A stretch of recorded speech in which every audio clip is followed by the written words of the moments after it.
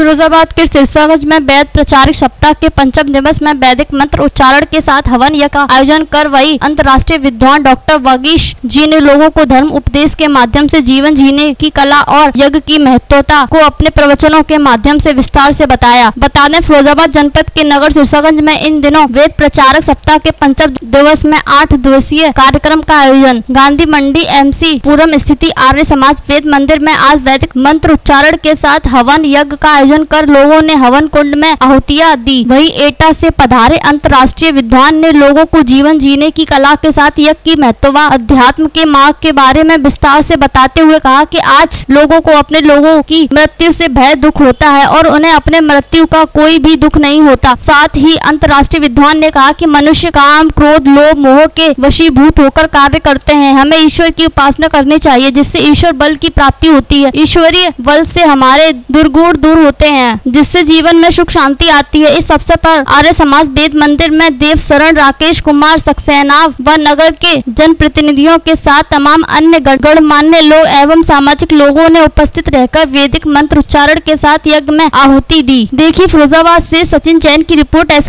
News. प्रश्न कि नज़दीक है। तुम नकुल और सहदेव में से किसी एक का जीवन मान रहे हो, इनके जीवन को पाने से किसी एक का जीवन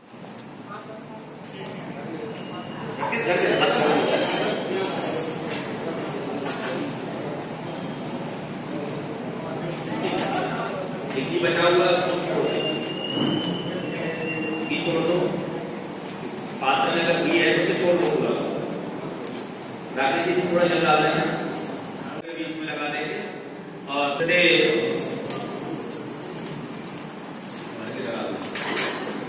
फिर पूज्यपाद आचार्य श्री हमारे बीच में पधार चुके हैं, उनसे आशीर्वाद भी लेना इसलिए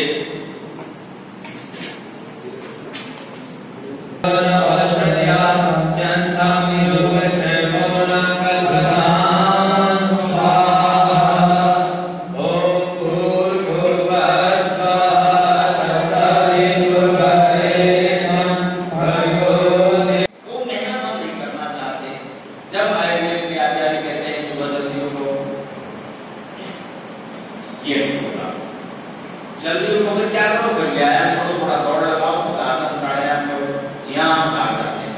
ये मत खाना।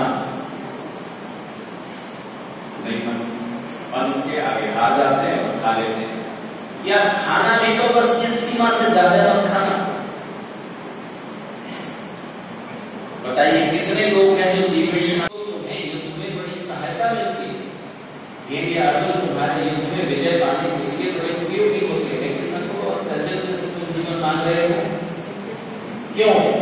तो इसका जो कारण युधिष्ठिर ने बताया वो इतना दिव्य इतना डिवाइन उतना अच्छा था कि यक्ष ने प्रसन्न होकर चारों भाइयों का जीवन वापस कर दिया ये तो समझाने की एक कथा है। तो वो कौन सा कारण बताया था जिस पर भी चर्चा करूँगा समय रहा तो अभी जो प्रश्न पूछे थे, उनमें से एक प्रश्न एक अपने लोगों की मृत्यु से भय दुख होता है।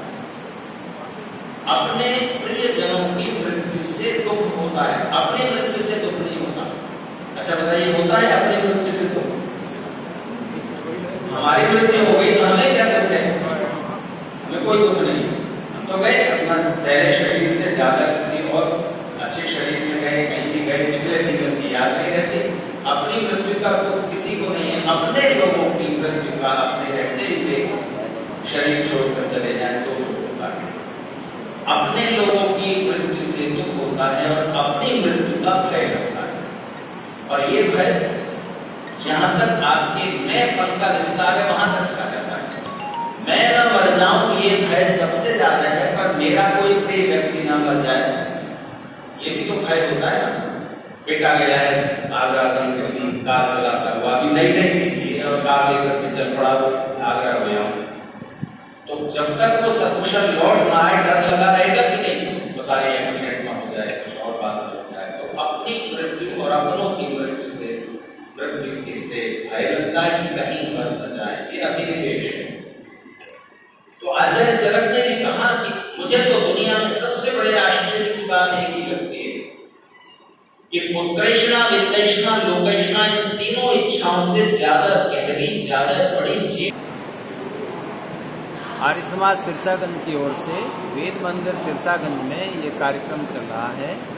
आठ दिन का श्री कृष्ण जन्माष्टमी पर इसका समापन होगा। प्रतिदिन सुबह यज्ञ होता है और सुबह और शाम को भजन, प्रवचन, व्याख्यान आदि होते हैं, जिसमें सिरसागंज आ रही है। और सब लोगों को आध्यात्मिक मार्गदर्शन, उनके जीवन के लिए प्रेरणा और यज्ञ से जुड़कर अपने जीवन के लिए, परिवार के लिए, राष्ट्र और समाज के लिए सुख समृद्धि की परमेश्वर से प्रार्थनाएँ। ये कार्यक्रम चल रहा है। सभी नगर निवासियों से